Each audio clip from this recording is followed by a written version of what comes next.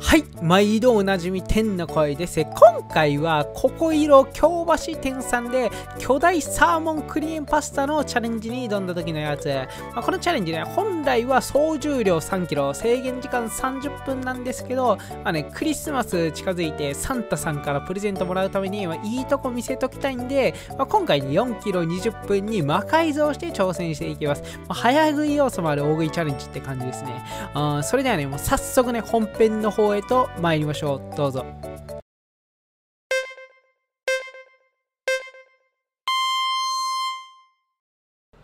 いただきます。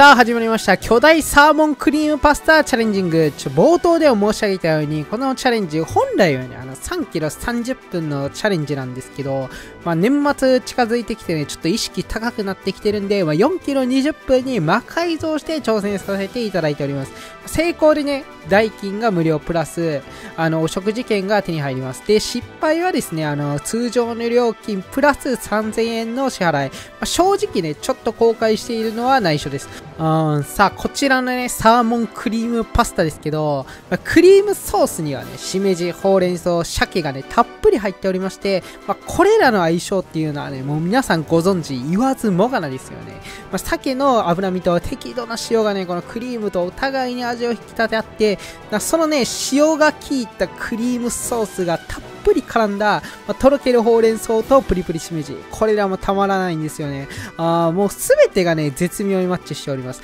まあ、クリーム系のパスタはね、5つ食べてもね、まあ、うまいんですけど、まあ、特にね、冬場は食べたくなりますね。まあ、ちなみにね、今回挑戦しているお店、ここいろさんは、まあ、大阪府と和歌山県に計10店舗を持つローカルチェーン店で、オムライス、パスタ、ドリア、ハンバーグ、ピザなど、様々なね、メニューを揃える洋食店です。まあ、扱ってるカテゴリーが多いだけじゃなくて、まそれぞれのね、種類がね、非常に多いのが特徴で、まあ、メニュー表はね、なんとこれ、ホームページ見ていただいたらわかるんですけど、驚異の21ページです。あしかもね、ご覧のようにこれ1ページあたりにぎっしりとメニューが詰まってるんで、まあ、おそらくね、総メニュー数は200を超えてるんじゃないかと思います。ま、特にね、これ、オムライスとパスタの種類がね、やばくてですね、期間限定も含めると、まあ、それぞれ40種類以上あります。これね、合わせて40種類じゃなくて、それぞれが40種類なんで、合わせて80種類ぐらいあるんですよね。でね、ここからがね、あの、このココイロさんの、まあ、真骨頂なんですけど、なんと、これらのオムライスとパスタに関して一部を除き、すべてね、あの、今回みたいに巨大化してチャレンジメニュー化することが可能。ちなみに、どのメニューでも大きさは 3kg、制限時間30分は共通です。まあ、これが何を意味するかというと、まあ、先ほど申し上げたように、このお店、オムライスとパスタが、まあ、それぞれ40種類以上、まあ、計80種類以上あるんで、まあ、つまりね、理論上この80種類のチャレンジメニューが存在することになるんですよね。まあ、正直ね、公式が取り扱っているチャレンジメニューの種類で言えば、まあ、日本一なんじゃないかなと思ってます。あまあ、自分がね、もう好きなオムライス、パスタがね、巨大化した姿が見られるんで、まあ、結構ね、夢ありますよね。そしてね、大食いガチ勢の皆さんなら、もうこれお気づきかもしれないんですけど、当然ね、あの、魔改造するメニューによって難易度が大きく変わってきます。まあ、重量が同じなんでね、まあ、基本的に水分比率が多いものが簡単で、逆にね、水分比率が少ないものが難しい傾向になるかと思います。まあ、カレー 3kg とドライカレー 3kg を比較したら、ま、どう考えてもね、これドライカレー 3kg の方がきついですからね。あまあ、ココイロさんのね、メニューに当てはめてみると、まあ、例えば、こちらのミートパスタのミートくんっていうメニュー、まあ、これはね、結構簡単ですね。あま、そこそこの水分要素がある上に、まあ、全体的に食べやすい味で、まあ、パスタチャレンジメニューのね、登竜門ポジション的な気がします。まあ、名前からしてもミートくんってゲームのチュートリアルで出てきそうですしね。あまあ、逆にね、このエビアボガドのジェノバみたいなね、あの、オイル系のパスタっていうのは、まあ、水分少ないんでね、まあ、3キロがほとんど固形になって難しくなりそうですね。まあ、ちなみにね、今回僕が挑戦しているサーモンクリームパスタみたいな、まあ、クリーム系はこれね、ソースたっぷりで、水分要素は多いんですけど、結構ね、そのソース自体が重いんで諸説あります。まあ、乳製品耐性がない人とかだとね、クリームの波に飲まれそうです。あ,、まあ、あとね、例外として、この魔改造メニュー、ま、当然ながらね、まあ、今回のサーモンクリームパスタ見てもらっても分かるように、まあ、ソースに含まれているね、具材も増えるんですよね。まあ、つまり、これ具材がね、凶悪なやつっていうのは、ま増えるとね、予想外の難易度になることがあります。まウプ主も過去、まルパン三世のミートボールっていうあの超有名映画カリオストロの城に出てくる、まミートボール入りパスタをモデルにしたメニューがあるんですけど、これミート系パスタやし余裕やろって感じでね、ちょ、ウッキウキでね、あの、挑んだら、ミートボールがね、これ50個に増えて、もう死にかけたことがありました。いやね、50個やばいってあこんな感じでね、ちょメニューによる駆け引きと、それをね、たまに裏切ってくるランダムガチャ要素があるのが面白いですよね。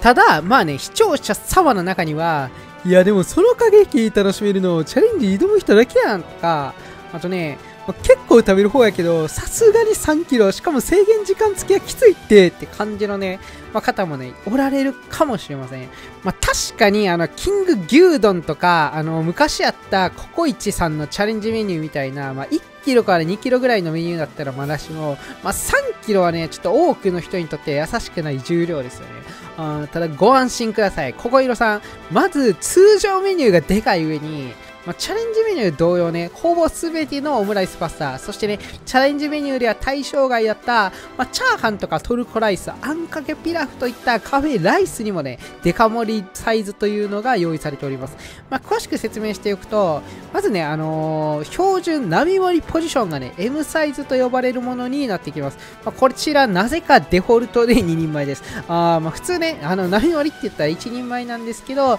まあ、こちらのお店、ココイロさんでは並からすでに2人前で、まあ、1人前はね、その1つ下のサイズの S サイズになります。まあ、この時点でね、まあ、すでに不穏な空気が漂ってるんですけど、まあ、こっからね、プラス200円で、さらにね、その M サイズの1.5倍の L サイズ3人前、そしてプラス350円の課金で、まあ、M サイズの2倍であるデカ盛りサイズ4人前が注文できます。まあ、メニューにもよるんですけどね、大体どのメニューも L サイズで 1kg 前後、そしてね、デカ盛りサイズでは、ま 1.3kg ぐらいになるんで、あのね、多くの人を苦しめたキング牛丼と並ぶサイズになります。あまあ、チャレンジメニュー同様ね、80種類以上のオムライス、パスタに加えて、もうチャーハンとかね、あの、トルコライスも巨大化できるんで、これはね、なかなかロマンがありますよね。あまあ、キング牛丼ぐらいのデカ盛りは挑戦したいけど、まあ、正直牛丼自体はそんなに食べたくないねんなって方はね、こういったメニューに挑戦するのはちょうどいいかもしれません。まあ、オムライスとパスタあんだけ種類あったら自分のね、欲しいもん絶対見つかるはずですから。あ値段もね、L サイズがプラス200円。そしてね、デカ盛りサイズがね、これプラス350円なんで、まあ、増える量に対して結構ね、リーズナブルなんですよね。ちなみにシェアも可能なんで、複数人で行って、みんなでね、好きなデカ盛りサイズ頼んで、まあ、楽しむなんてこともできます。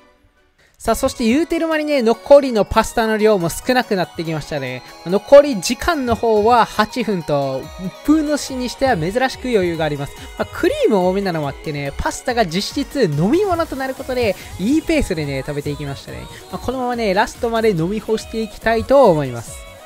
ちなみに、ここいろさん、あの、パスタ、オムライスとかのね、洋食のラインナップの多さは、途中説明した通りなんですけど、デザートの種類も豊富でね、もちろんね、あの、画像みたいな普通にうまそうで映えるやつもあるんですけど、まあ、やはりね、このお店といったら巨大路線です。もう画像みたいなね、あの、40センチを超えるタワーパフェもラインナップにあります。まあ、ちなみにね、こちら値段1380円で結構安いんですよね。あ,、まあ、あとはね、唯一、あの、オムライス、パスタ以外ののチャレンジメニューである、総重量推定で、5キロ超えとも言われる超巨大パフェも存在。まあ、制限時間は30分とのことで、まあ、甘さ耐性はもちろん寒さとの戦いにもなりそうでね、まあ、下手したらね、オムライスとかね、パスタのチャレンジよりも難しいかもしれませんね。あいやにしてもね、これら豊富なデザートたちはね、特に女性の方にはね、嬉しいかもしれませんね。まあ、ちょっとね、僕のチャンネル、女性比率、日に日に下がっていって、昔ね、半々ぐらいだったのに、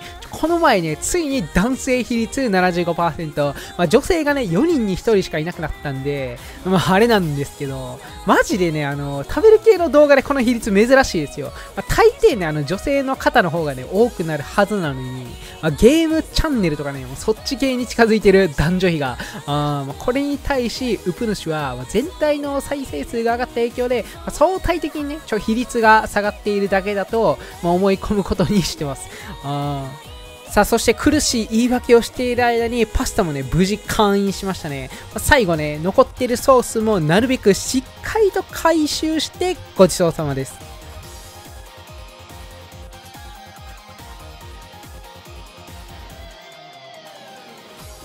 はい、ってことで、ここまでご視聴ありがとうございました。いやね、無事にチャレンジ成功できてよかったですね。まあ、途中ね、説明した他にも、このココイロさん、いろんなね、ユニークなメニュー、デカ盛りメニューがあって、もう食のテーマパークみたいなところなんで、まあ、よければね、皆さんぜひ行ってみてください。それではまたお会いしましょう。さようなら。